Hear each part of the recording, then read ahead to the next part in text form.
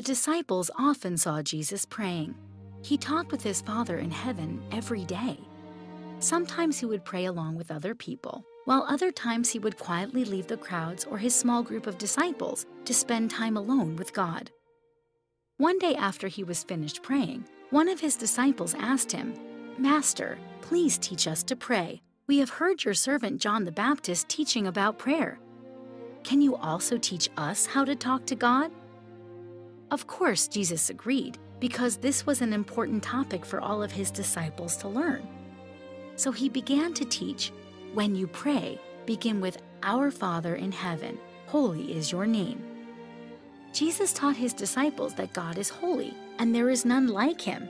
But even though God is so powerful and great, they could still call him Father, in the same way a young child talks to their own loving parent. He continued, Your kingdom come, your will be done, here on earth as it is in heaven.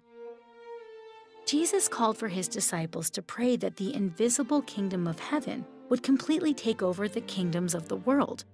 It was his will that every person on the earth would hear the good news of salvation so that they would have the opportunity to prepare for the coming king.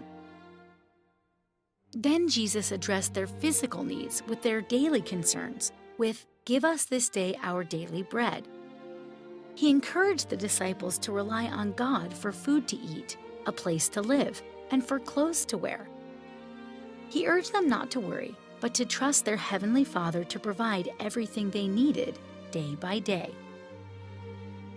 Next came these words Forgive us our sins, as we forgive everyone who has wronged us. He was reminding them that in order to be forgiven by God, they must first forgive everyone who has hurt them.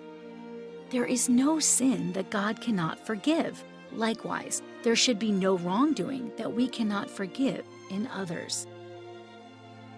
Jesus continued, And lead us not into temptation, but deliver us from evil. Most certainly, the enemy of the world, Satan himself, was not happy about this conversation Jesus was having with his disciples. Through prayer, the disciples would receive strength to resist temptation and to avoid falling for the enemy's tricks. Prayer would be their rescue. Then Jesus taught them to be persistent in prayer.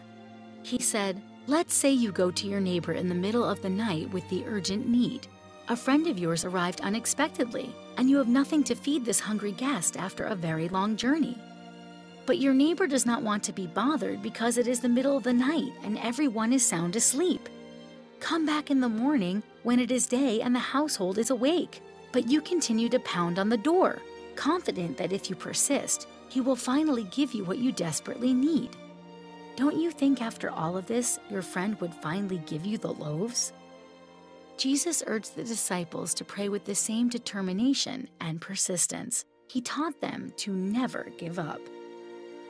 How encouraged the disciples were to learn that they could talk to an all powerful God as their Father and that He would provide for their needs, forgive their sins, and protect them from their enemies. The kingdom belongs to God, and his power and glory is forever.